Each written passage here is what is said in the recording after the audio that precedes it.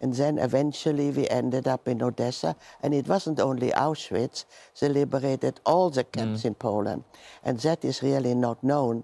And something I wanted to point out to you um, you know, there are many pictures about the Russian liberating Auschwitz, and there's never any snow.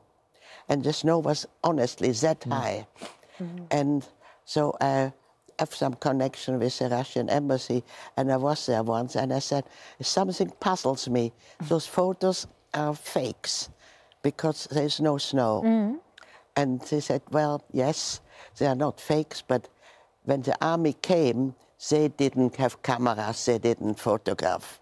Mm. So only much later, when they realized we should have pictures of it, they took pictures Right. like you see now. But this is definitely not in Auschwitz and not the liberation of Auschwitz. the- There were not that many people with clothes and children and no snow. Right, fascinating. So I The- think historically we should point this out Get it right, yeah. to get it right.